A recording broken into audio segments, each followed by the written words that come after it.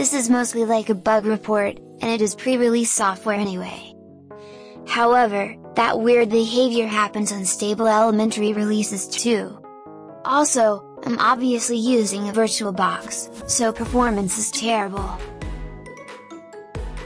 So, let's open a file manager. And then let's open a terminal.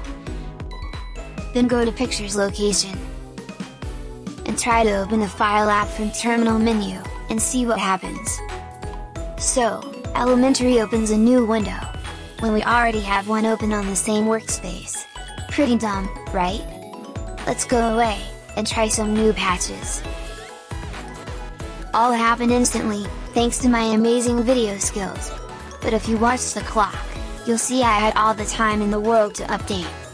Anyway, let's try again, and see what happens this time. Same as before, first I will open the file manager. Then I will open the terminal. And go to pictures location. And finally, I will open the Files app from the terminal menu. Now, Elementary was smarter, and opened a new tab on the current window. Pretty cool, right? Let's make things a little bit more interesting. What if the file manager and terminal are on different workspaces? Now, if we open a file manager again, what do you expect to happen? Personally, I'm expecting Elementary to open a new file manager window on the current workspace, since that's the point of workspaces, to group work.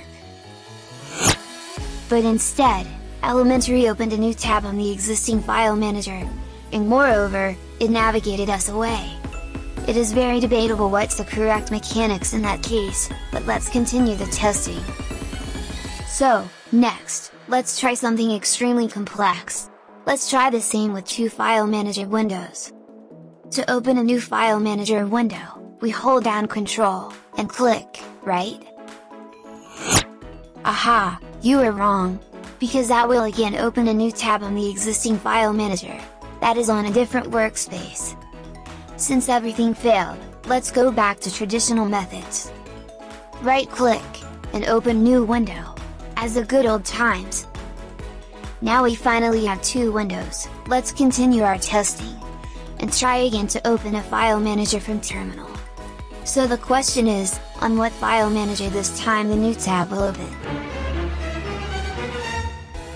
So, this time Elementary opened a new tab, on the file manager of the current workspace, as expected.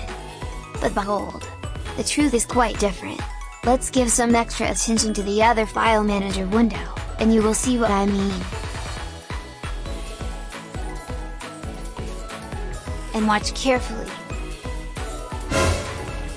Elementary will now open the tab on a different workspace, just because that file manager had the last activity.